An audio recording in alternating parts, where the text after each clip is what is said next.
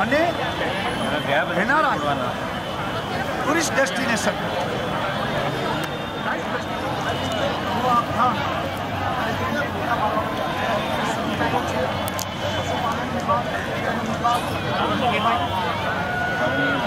emergency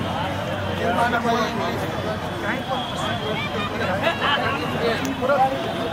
ફસી જાય અને એને બચાવી ટ્રીટમેન્ટ કરી